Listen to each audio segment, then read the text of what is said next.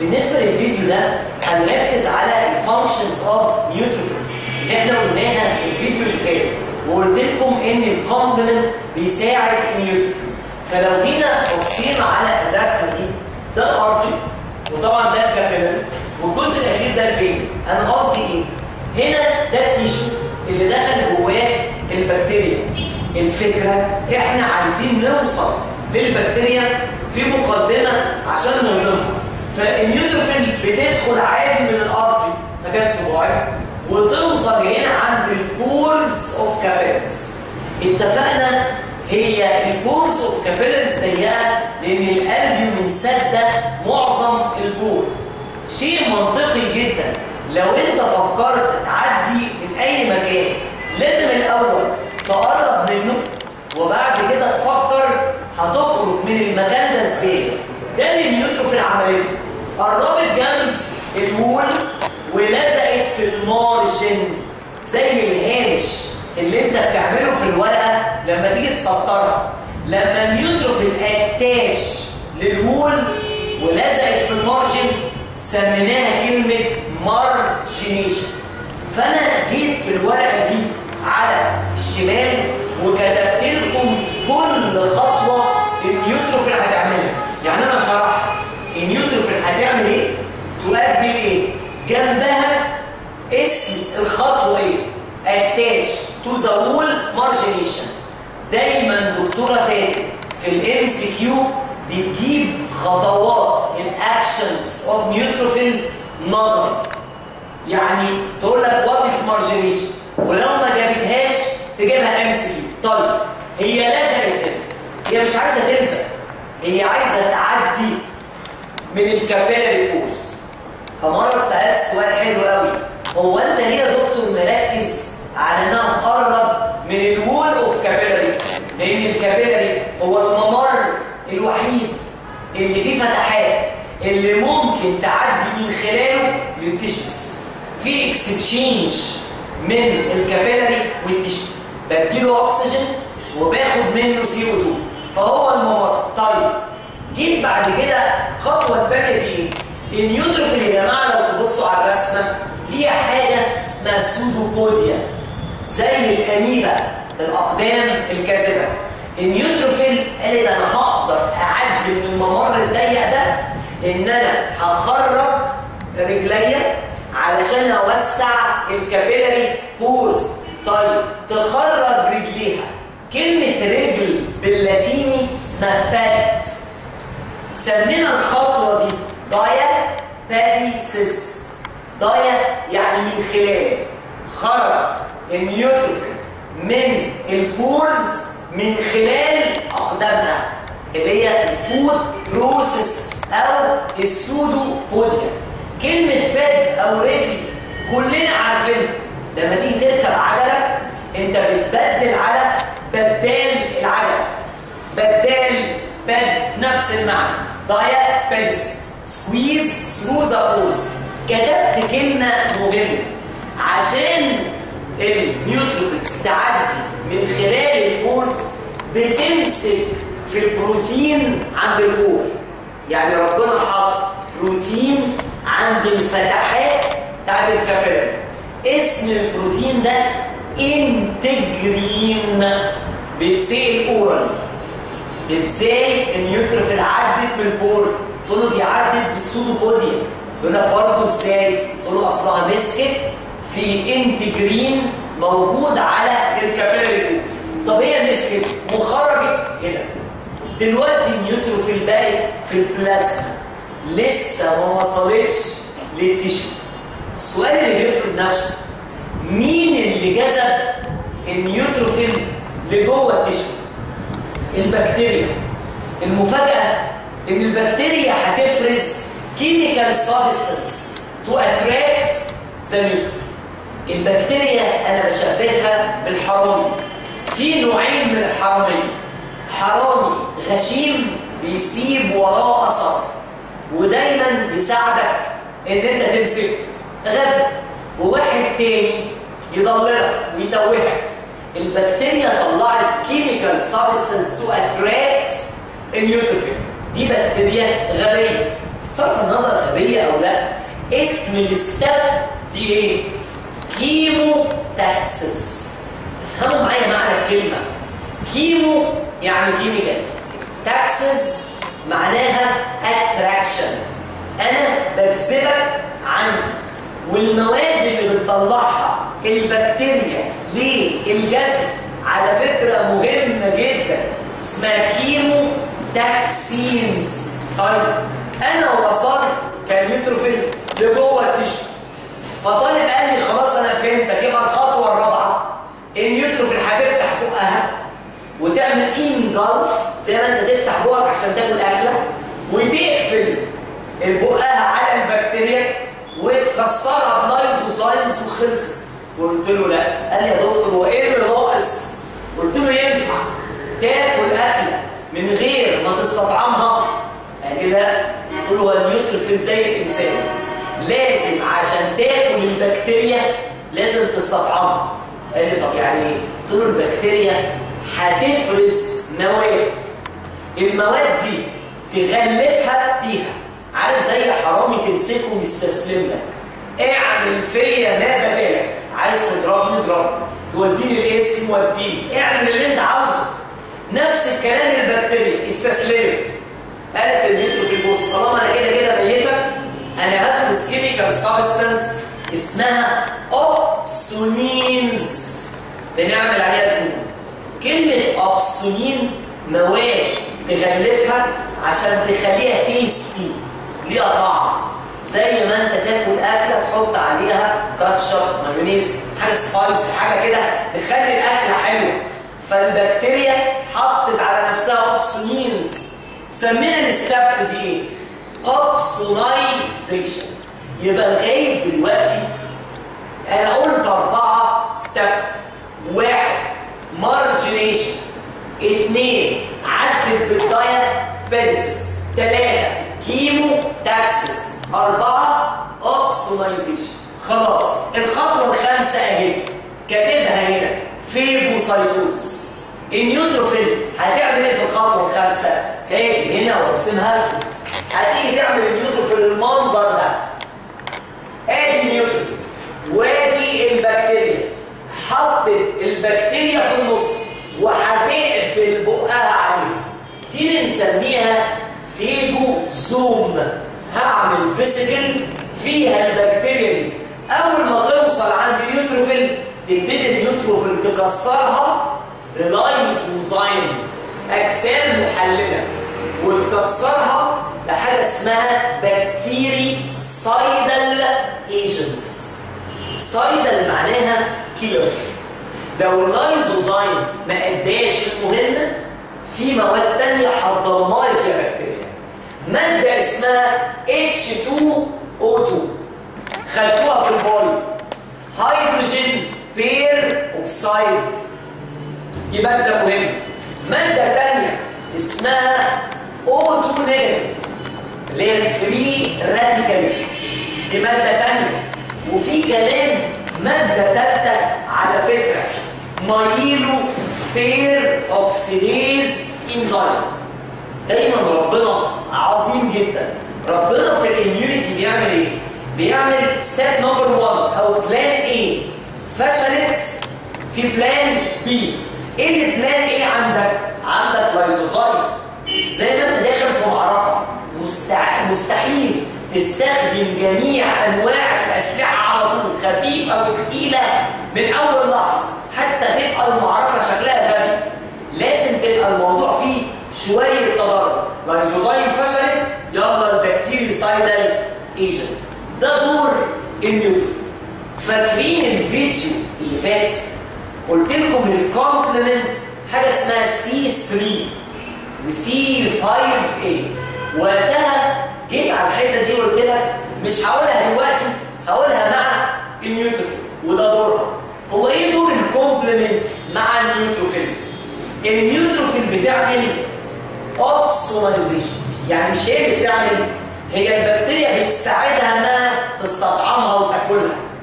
ال complement يساعد في ال opsonization يقول للبكتيريا مش أنت بس اللي هتفرزي tasty substance. أنا كمان هساعدك تفرزي مواد معينة يبقى طعمك حلو وال neutrophil تقدر إنها تهضمك. يبقى ده دور ال complement يعني كأن ال complement شغالة على جميع الوجوه. تعالوا نعد دورها. تشتغل direct من نفسها. أنا هدمر البكتيريا المول وسميناها membrane attack complex لا ده أنا هساعد ال neutrophil أنا هساعد ال antibody يعني أنا شغال في كل الطرق كده شرحنا دور ال neutrophil الجزء الثاني من الصفحه abnormal production.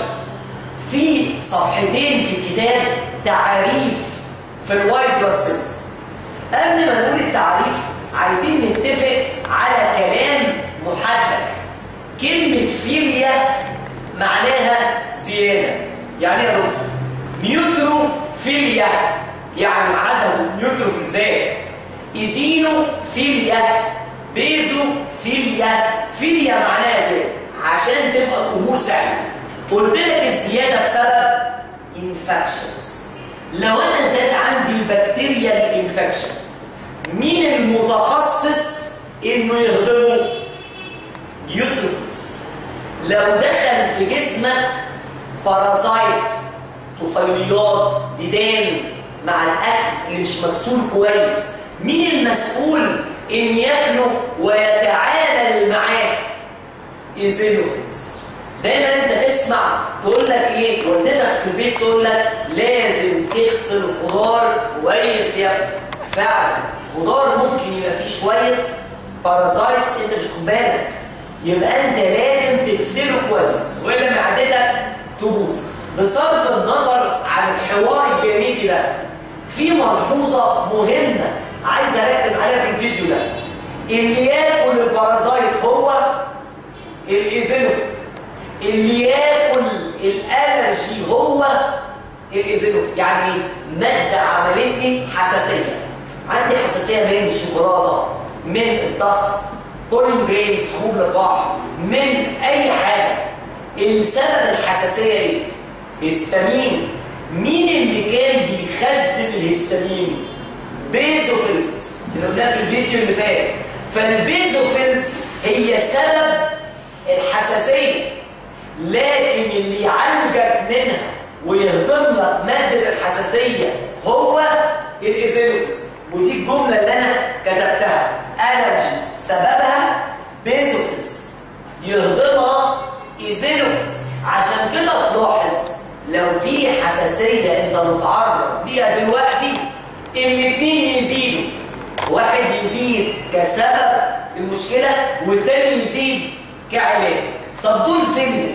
طيب penia معناها نقص. من غير ما تاخد وقت طويل في المذاكرة. أي white blood cells. إذا عددها قل سببها عيب في المصنع. اللي هو ال pluripotent stem cell. in the bone marrow ال bone marrow يبوظ بسبب toxins أو chemotherapy دايما الأطفال اللي بيتعالجوا من سرطان الدم دايما تلاقوا عندهم صلع نتيجة العلاج الكيماوي. كأعراض جانبية.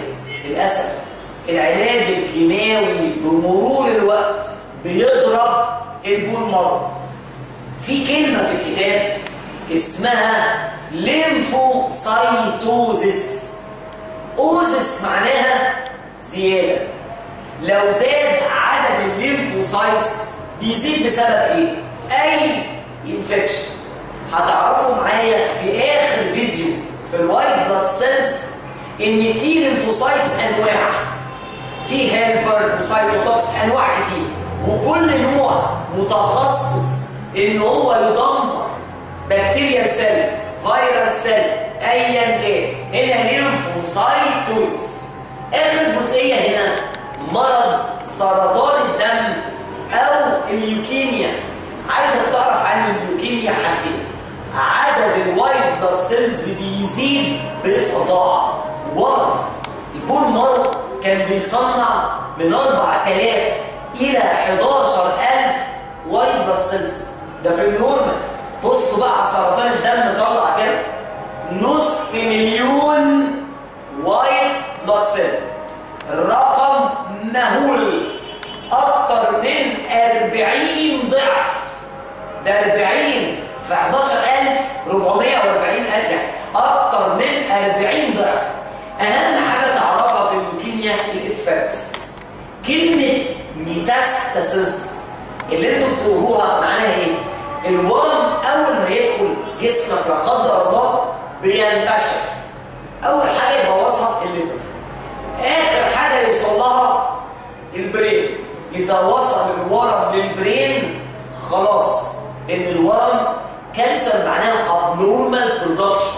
كلمة abnormal production يعني الخلايا مش مجرد بتتكون وخلاص بالملايين. دي كمان بتدمر ال normal cells ممكن تكسر ال bone. بتعمل bone marrow depression وده أساس أي عظم والنخاع طيب ليه يا دكتور عملت انيميا لأن لما انتشر ال cancer ال cells الكتيرة منع ال stem cell اللي تكون ال red blood cells بعدين. فبدل ما صنع mature erythrocytes ال mature ما بقتش بتتكون فانتاجك من cells قل. ادى إلى انيميا نيجي بقى للجزئية الأخيرة في الفيديو ده. Acquired immune system. هقول بداية في الفيديو ده وهنكمله في آخر جزء. Acquired immune system. اما تقول لي B lymphocytes أو T lymphocytes ال B lymphocytes عايزة تعرف عنها أربع معلومات. عملتها بالاسم ال origin طالعة من ال bone marrow mature في ال bone marrow. حاجة اسمها surface immunoglobulin دايما ال B lymphocytes زي أي cell في الدنيا بيبقى عليها receptor عليها antigen ال antigen ده هي هتقدر تميزه عن أي antigen تاني. دكتور يعني إيه؟ هرسم لكم رسمة وعايز أوضح نفترض cell عادية جوه جسمك ال cell دي عليها من بره بروتين. البروتين ده بيبقى له شفرة عند ال immune system. ما هو البروتين بتاعك لازم أن أنت الجهاز المناعي بتاعك يكون عارف ده تبعك ولا لأ. يعني ال immune system متعود على بروتين معين على سطح ال cell ده ليه شكل معين كيميائي. أي بروتين غيره هيعتبره عدو. عشان كده المراجع المحترمة بقول المراجع المحترمة بيقولوا على البروتين ده إيه؟ self antigen. self بتاعه. طب والحاجة الغريبة اللي داخلة من بره؟ فيروس بكتيريا طب ما ده بروتين. non-self دايما أنا هاجم ال non-self لو أنا هاجمت ال self اللي هو تبعي بقى autoimmune disease خلي بالكم النقطة دي هنلجا لها في آخر فيديو. طيب ال B lymphocytes في ال histology تتحول إلى plasma cells وال plasma cells دي تكون آلاف من ال antibodies السؤال النظري اللي جه من 3 4 سنين. دكتورة فاتت قالت لهم إيه؟ أنا عايزة ال actions of anti الحتة دي دايما الطلبة بتسيبها. اسأل أي طالب إيه ال action of antibody يقول لك bind to antigen نقطة. لا.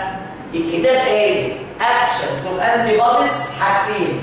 يا إما direct يا إما indirect دايما يا جماعة قبل ما أقول direct أو indirect تخيل إن أنت دلوقتي في خناقه واحد جاي يتخانق معاك ويضربك يا إما تواجه راجل لراجل بنسميها cell to cell عارفين cell mediated واحد لواحد.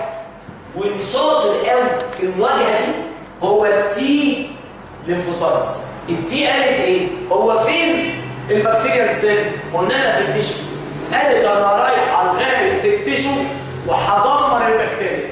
ده T شجاعة. أما ال B lymphocytes مش عايزك تنسى الوصف اللي هقوله دلوقتي. جبانة جدا. قالت ما أقدرش عليه.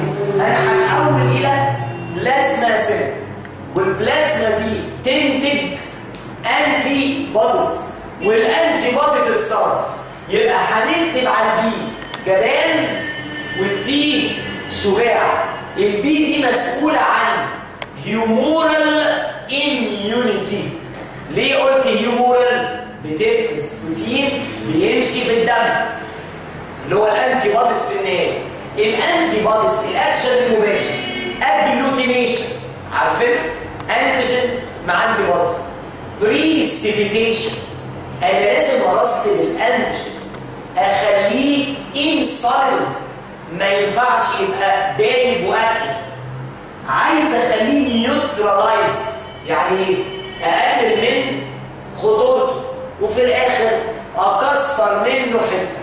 يبقى هي agglutination precipitation neutralization lysis شفتوا الكلمة اللي قلتها من ثواني؟ antibody هيكسر حتة من ال antigen معنى كده؟ إنه مش هيقدر يتعامل معاه حتى النهاية. يبقى محتاج مساعدة complement وده اللي قلناه الفيديو اللي فات. complement مكمل لشغل ال antibody مكمل لشغل ال neutrophil عشان كده الطالب الشاطر يكتب direct actions أربعة و indirect واحدة. آخر جزئية في الفيديو ده أنواع ال antibodies ال antibodies بتاعتك فيهم خمس أنواع. immunoglobulin M ليها high molecular weight وده اللي ما يقدرش يعدي ال placenta قالوا لكم في المحاضرات زمان إن ال ABO system ما بتأثرش لأن ال antibodies بتاعتها وزنها كبير. immunoglobulin دي مسؤولة عن mucosal immunity موجودة في الإفرازات في ال milk أو في ال nose موجود الكلام ده في ال saliva. Immunoglobulin has a low molecular weight ودي الار اتش دي المشكلة و can cross ال placenta immunoglobulin G بتعمل actions لو بصيتوا عليها تلاقوا ان ال actions دي ليها علاقة بال neutrophil opsonization قلناها activate ال complement وده مهم. و neonatal immunity أهم نقطة كل antibody لازم تعرف عنها ميزة. Immunoglobulin E هو الاسوأ هو المسؤول عن ال allergy دكاتره ال histology قالوا لكم إن ال immunoglobulin E مع ال allergy بيدمروا ال basophils ويخرجوا منه الهستامين. بيعملوا ال mast cells بيعملوا زي destruction اطلع هستامين. هو المسؤول عن ال allergy. دايما وإحنا طلبة كنا بنقول على ال E؟ جملة مهمة. E وحش شرير لأن أنت داخل السنة في ال MCQ الدنيا هتضرب. لازم تفكر نفسك. M هقول عنه كلمة واحدة. لو أنا اتسألت في الشفوي M كبير. إيه اللي بيخليني ما انساش؟ M افتكرها بكلمة macro. كبير. عكس ال G صغير. ال A secretions ال E allergy ووحش أما ال D على سطح. ال lymphocytes. طيب ال structure بتاع ال antibody قراية. معروف إن ال antibody في رسمة الكتاب لو جيت رسمتها كان عامل كده. حرف Y وكان ليه two edges طبعا الرسمة دي ما تهمنيش قوي مرسومة في الكتاب. ليها two chains heavy و two chains light ليها جزء ثابت وجزء variable لو عملنا zoom هنا الجزء ال variable من ال antibody ده اللي بيمسك في ال specific antigen أما الجزء ال... ده الجزء المتغير الجزء الثابت هو اللي بيحدد ال physical وال chemical properties عشان اطمنه عمر ما الأسئلة اللي هتجيبها الدكتوره فاتن في النظري give account on antibodies. أو give account on acquired immune system. ليه هي ما تحبش تعمل كده؟ درجه السؤال قليلة. هي عايزة تحطك في سؤال بإجابة محددة عشان يبقى التصليح محدد. ما يبقاش اللي يقول أي كلمة في دماغه ياخد الضرب. فالسؤال اللي جه هنا action of antibodies وفي سنة من السنين جابت سؤال تاني.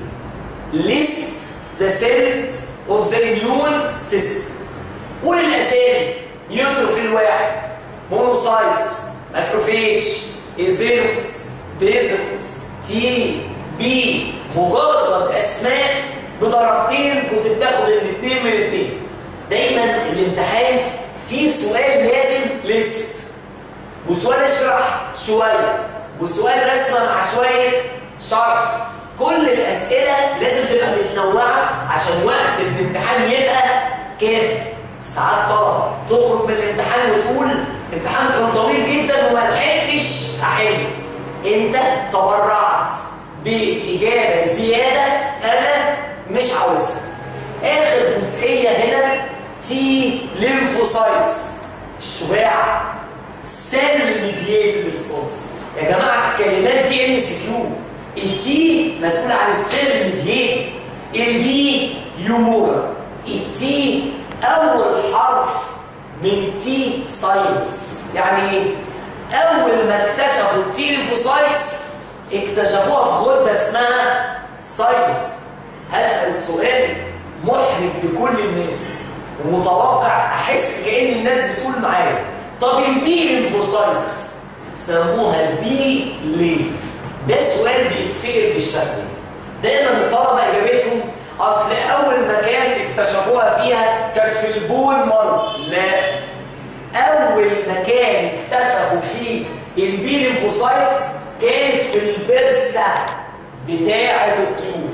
يعني إيه كلمة bursa بالعربي اللي هو المجمع. المكان اللي ال birds بتعمل فيه defecation defecation يعني intercourse التزاوج يسموها المجمع أول ما اكتشفوا الخلايا الليمفاوية اكتشفوها في ال bursa بتاعة الطيور. ودي كلام في المراجع. زي ما قلت لكم قبل كده water hammer pulse ليه اتسمى بنفس الاسم ده؟ مين اللي بيسأل السؤال ده؟ أستاذ دكتور شكري.